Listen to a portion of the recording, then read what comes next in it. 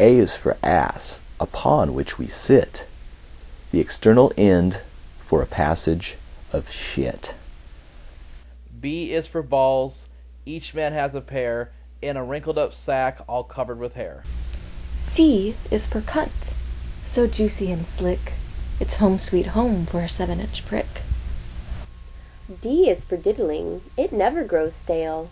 There's nothing as good as a good piece of tail. E is for eggs. They're laid in the grass. The object that comes from a speckled hen's ass. F is for fart, an odorous breeze. It's damn near as strong as Limburger cheese. G is for guts, a tangled up mass. They connect your belly to the hole in your ass. H is for hair that surrounds her cunt, and to find that hole is man's eternal hunt. I is for Ireland, home of the Micks. They fight all their battles with crowbars and pricks. J is for jism, a sticky cream. It spots up the sheets when you have a wet dream. K is for king. Wears a crown upon his bean.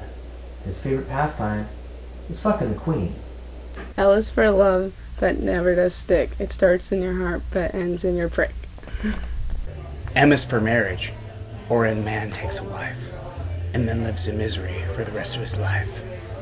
N is for nuts. They furnish the sap and sometimes the making of a good case of clap. O is for old, or rather the time when your prick won't stand like it did in its prime.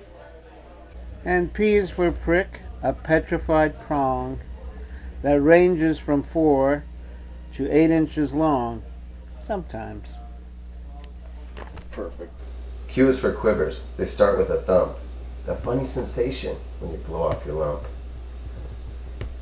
R is for rags.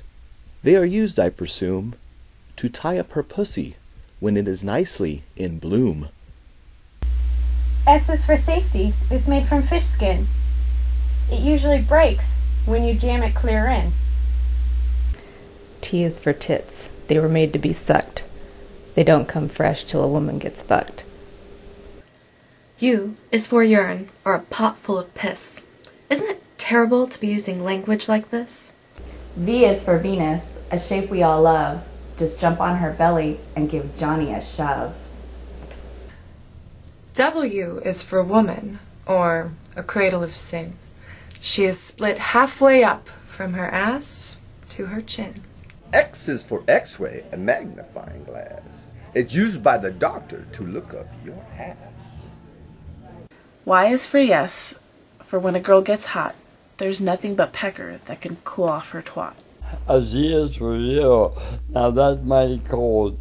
The temperature of man's balls when he's 90 years old.